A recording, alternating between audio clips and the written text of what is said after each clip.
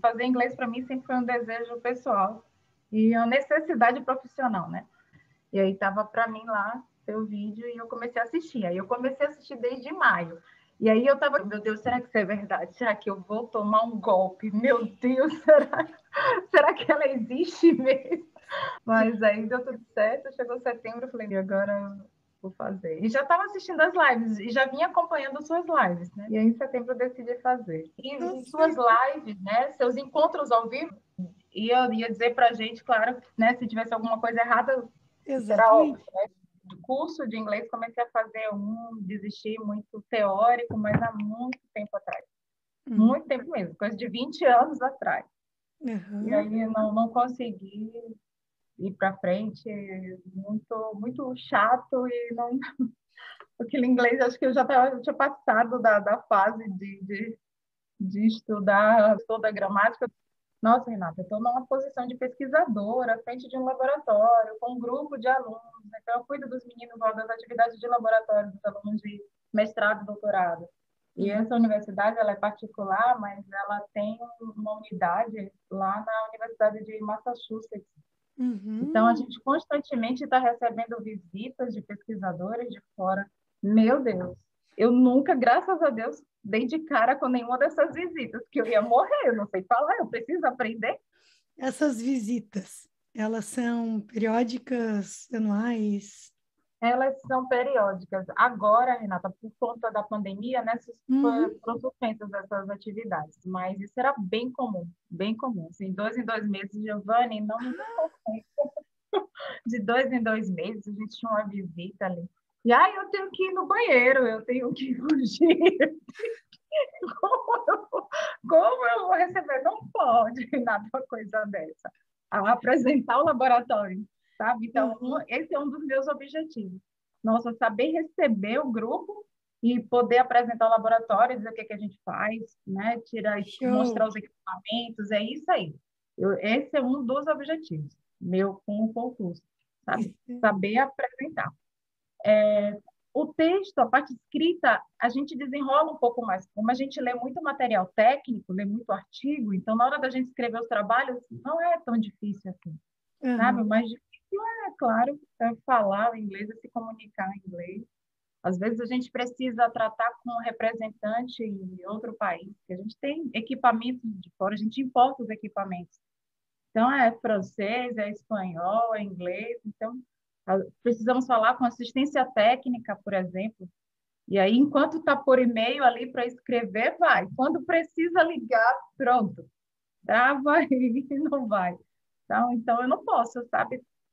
É, me, me, né, estar numa situação dessa. Eu não posso me sujeitar a isso. Eu não posso deixar que o inglês seja uma barreira para a minha vida profissional. Eu preciso deslanchar e abrir leque. Uhum. Muitas viagens também, né? Que a gente acaba fazendo, congresso, e aí fica muito limitada a comunicação por não saber a língua, né? Então sai meio engessado, assim, sai com as frases prontas, assim, o guia embaixo do braço, se pergunta se você quer mais alguma coisa, pronto, acabou, acabou ali. Ah. Sabe, num grupo de seis, somos seis pós-docs, seis pesquisadores, e hum. eu, eu sou a única que não sabe falar inglês. Não posso, Vamos Renata. mudar isso! Não posso, entendeu? Eu quero surpreender, eu quero chegar, quero ter uma oportunidade para estar conversando com o grupo e aí mostrar que eu também estou na área, eu estou. Está tá, tá no páreo. Estou no páreo, eu não posso. Eu preciso aprender. Por isso não, que eu falei, não, agora vai. Quando você veio e lançou aquele desafio das semanas, eu falei, meu Deus, eu não posso deixar ninguém dizer que eu não consigo fazer aquilo que só depende de mim. Não posso, não posso. Eu vou partir para esse desafio. E aí pronto, agora é só é de manhã, tarde, de noite, eu estou assim, eu estou no trabalho, eu quero parar para estudar, eu quero fazer o quiz, eu quero é, fazer o Anki, estou sempre assim com o fone e só ouvindo e vou lá. Eu estou assim também, estou mergulhada né, no meu objetivo. Ai, que show! E vai dar tudo certo, hein? Conta comigo para isso. Eu digo, vamos lá, a tua meta é minha meta, sabe? Claro. Ele claro. acabou de me dar mais uma meta nessa vida. Hi, Renata. Good evening. How are you doing?